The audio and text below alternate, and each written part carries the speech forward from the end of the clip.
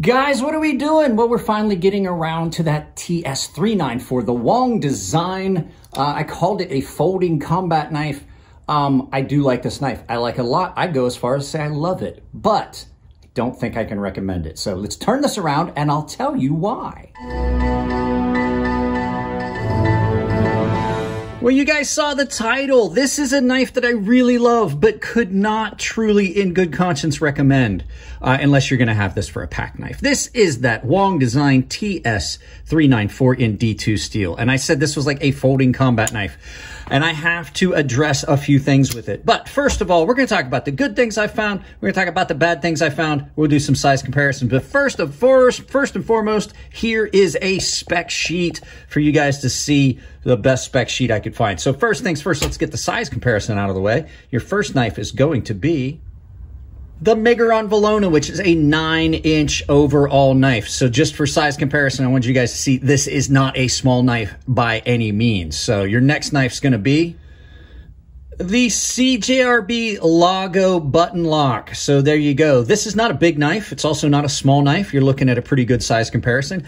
And as always, your final knife is going to be the Chris Reeves Sebenza Large 21. So you can see this is truly a really, really big folding knife. So let's get this out of the way and let's talk about the good things I found, the bad things I found, and why I'm going to say this is just a knife I love, but I can't recommend. All right, guys, I did have this knife in and out of pocket for like the last two weeks, and literally it was in my pocket because as you can see, no pocket clip. It does have thumb stud, flipper, activation and you can use that fuller to flip it. And it is a big beefy knife. Super comfortable in hand with these nice rounded contour grips. And the fact that you don't have a pocket clip means that you can use this heavy checker and you don't have to worry about it in and out of pocket and tearing things up. The d2 blade on this is ground extremely nice and thin behind the edge and it does slice really, really well. The blade has been ground really well, nice, clean, and consistent from side to side. Not much of a hiccup with the swedge. There was nothing in the way of misgrind on this. Uh, you got a big full forward finger choil for choking up on stuff and you can get way up on it and put a lot of force down on it. The fact that it doesn't have a pocket clip means that there is no discomfort in hand at all. There's no hot spots. This knife does not have a single hot spot. I love how this feels in hand, but it comes with some downsides. We'll talk about that in a little bit. It has a very, very interesting and unique look to it. It's got a definite, definite, um, I talked about it. It looks like the, the, the Jim Crain life support system knife that was in Commando, this Arnold Schwarzenegger movie. It reminds me of that. It's got kind of the same lines. Um, as far as action, the action on it is really, really good. It has got a very good, clean action, nice and smooth, and it's really well centered. You've got all kinds of cool things that go with this. Um, cutting with this, it does cut really, really well, surprisingly, for a larger knife. A lot of times you get a large knife like this with a thick blade stock. It does not slice real well, but this thing cut great. Uh, if you want to take this apart, it's pretty simple. You got hardware on the outside and then there's some hardware on the inside. These are overlay scales on top of a, basically it's a frame lock with overlay scales. Um, you can take this apart, get to the pivot and all that stuff. So there's internal workings inside of this. It's a lot like the Ferrum Forge Gent in that fashion, where these scales just kind of cover the actual frame lock inside. Another thing that's great about it, this has a lanyard aperture, a lanyard spot in the backspacer so you don't have a hole going through it. This is my preferred method. I want everybody to have the option of a lanyard, but I don't necessarily like a lanyard hole. Even on some of my favorite knives in the world, including my much prized Grimsmo Norseman, there's a lanyard hole. I would much rather have something like this where you have a lanyard spot but no ugly hole.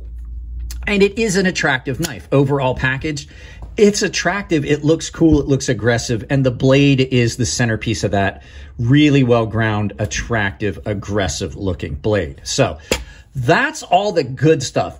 But this knife is fairly unique. It has a laundry list of downsides, and one of them is the reason I can't recommend it for everyone. So let's flip this around and we'll look at the bad things I've found about this. Okay, first and foremost, this knife is just, too, it's too big. This knife is too big for a lot of the things I wanted to do and how I wanted to carry it, places I wanted to take it. It is a really, really large knife. Now that's something like if you threw this in a pack, not a big deal. The biggest problem, we'll hit this one first. The biggest problem with this, you don't really have a way to carry it unless you want to use like a nylon Velcro belt pouch. Um, but it's, it's not it's not 1997 and it wants its method of carry back. So this has got a very, very limited, very limited carry.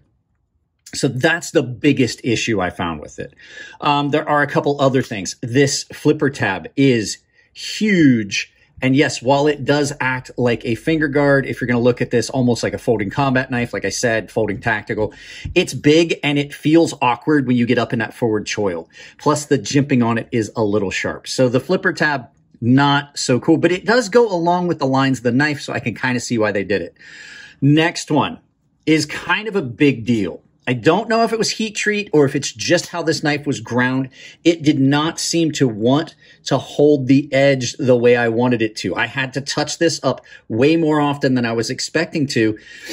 It did continue to slice because, like I said, it's got really good blade geometry. You can see that's very thin behind the edge. It's got really good geometry and it cuts well but it got dull pretty quick. I think it's just because it is so thin that maybe if I had done a different edge, maybe blended that, like, you know, give it a, a little bit more of a, a, steep angle as opposed to a, to a thin angle. Like I made it a little thicker. I think it would have held up better, but it, then it might not have sliced as well. As a matter of fact, right now, it just really doesn't feel all that sharp. Uh, but in its defense, I did cut up a lot of cardboard. Um, the next thing is it's heavy. This is a very heavy knife. Even with some weight reduction in there, this knife is heavy. You saw it on the spec sheet.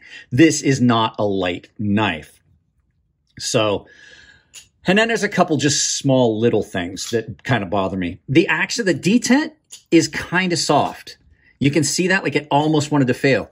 If you've got it, if you've got it out flat like this, horizontal, and you just give it a little bit, it does, it will slide open. But if you've got it upright, and you give it, you've got to really get on it because the detent is kind of sloppy and you can get a, a failure to, to, uh, to deploy. And then one of the last things I've, I've always said this, I'm not a big fan of this. While this lets you have access to your detent hole for the lock, you know, the close position, uh, you definitely have an issue where things can get down in there a lot easier. So if you don't notice it and you go to drop, it won't like it won't lock shut it's going to prevent that from getting all the way in. So while it is kind of cool because then it's out here and you can clean it, it's also kind of in the way. And I just don't like seeing it. That's mainly for me.